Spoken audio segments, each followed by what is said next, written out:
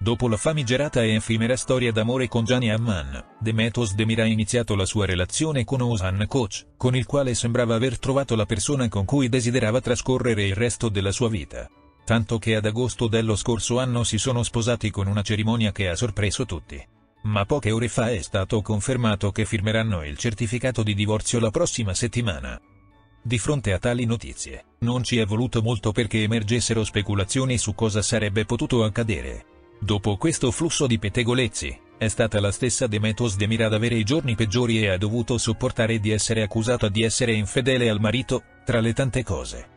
Di fronte a questa situazione, Demetos Demir è uscita lei stessa per chiarire cosa è successo e per spiegare come è avvenuta la separazione. Non sono stato sorpreso dalle accuse.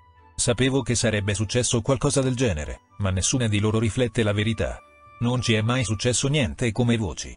Entrambi abbiamo deciso di porre fine al nostro matrimonio per rispetto, abbiamo visto che non potevamo continuare il nostro matrimonio per molto tempo e abbiamo deciso di porvi fine, ha detto.